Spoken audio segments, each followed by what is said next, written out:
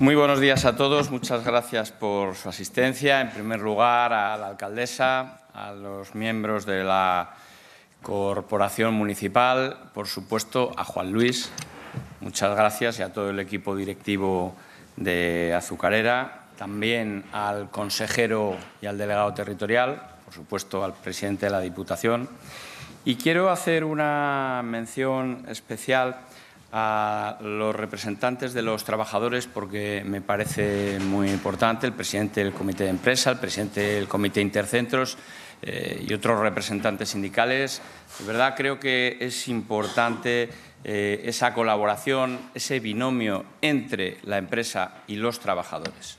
Sin ese binomio es imposible que haya un proyecto económico eh, viable de futuro. Y es un placer estar en Miranda de Ebro en un proyecto de renovación, de ampliación, de garantía del empleo en la ciudad de Miranda de Ebro. Eh, creo que sobra decir, pero lo voy a decir, que Azucarera es una compañía líder en el sector en España, cuenta con cuatro instalaciones en nuestra comunidad autónoma, La Bañeza en la provincia de León, Toro y Benavente en la provincia de Zamora y esta en la provincia de Burgos, en la de Miranda de Ebro. La verdad es que esta noticia eh, es una grandísima noticia para Miranda de Ebro, así lo ha explicado la alcaldesa, también para la provincia de Burgos, así lo ha dicho el presidente de la Diputación. Pero yo quiero decir también que es una grandísima noticia para el empleo, para la actividad económica de toda la comunidad autónoma de Castilla y León. Se ha dicho 27 millones de euros de inversión.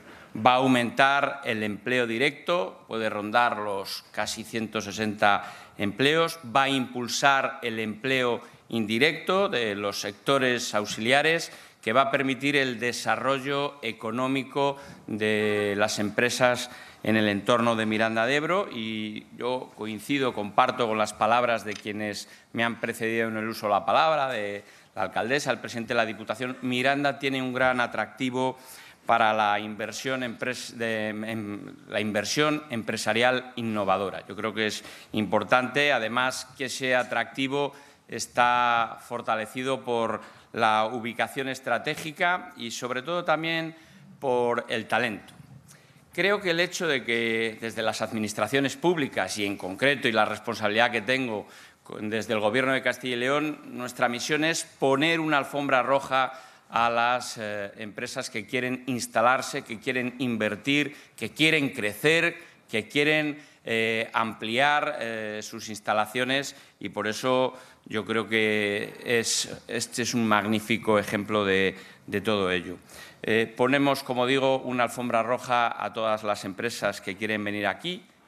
Creo en el sector privado y creo en la colaboración público-privada. Igual que decía que es eh, imposible pensar en el crecimiento de un proyecto empresarial sin contar con los empresarios y con los trabajadores, creo que en el mundo actual es muy difícil pensar en que solo el sector privado o solo el sector público es posible sacar adelante un eh, proyecto empresarial. Por eso quiero insistir una vez más en vuestra presencia. Estamos al lado de los emprendedores, de los empresarios, de los que crean riqueza, empleo, de los que apuestan por la innovación, como es eh, este ejemplo. Nosotros tenemos una colaboración eh, intensa y dilatada en el tiempo con Azucarera, tenemos proyectos de I de importantes, también hay proyectos de colaboración a través del Instituto Tecnológico Agrario de Castilla y León que permite eh, mejorar la competitividad del sector remolachero, porque no solo es las empresas, no solo son los trabajadores, sino también hay un sector primario detrás, el sector de los remolacheros, que es muy importante. Creo que por eso eh, hay que hacer siempre un esfuerzo en tener una fiscalidad moderada e inteligente, que fomente el consumo y la inversión, porque eso permite el crecimiento económico y la creación de empleo. Por eso nosotros apoyamos las eh, reivindicaciones de los agricultores, de los ganaderos.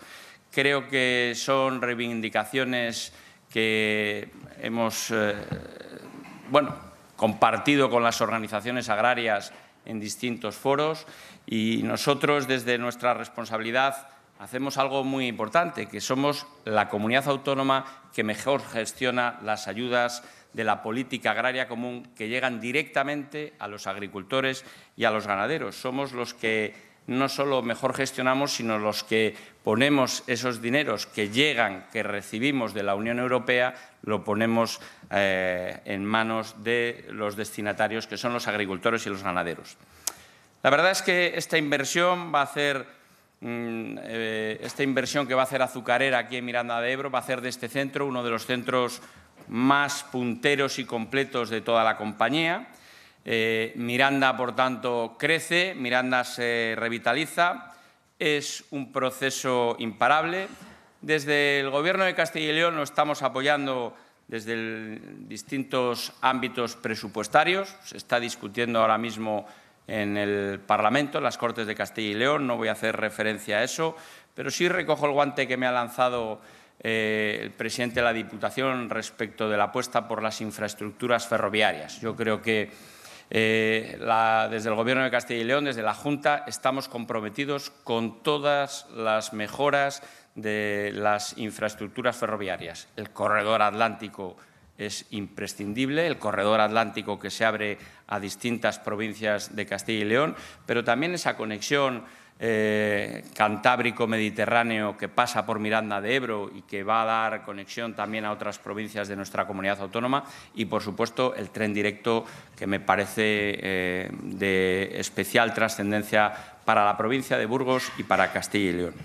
Yo doy eh, una vez más las gracias a Azucarera por confiar en Miranda de Ebro, por confiar en Burgos, en definitiva por confiar en Castilla y León para apostar por este proyecto innovador y de futuro. Y estamos hablando de un proyecto innovador y de futuro eh, en una empresa, bueno, no una empresa, en un proyecto empresarial que tiene un siglo de existencia, nada más y nada menos y se apuesta por la innovación, se apuesta por la modernización. Y esto va a permitir contribuir a la potente proyección empresarial, económica y de empleo para Miranda de Ebro y todo su entorno. Muchísimas gracias.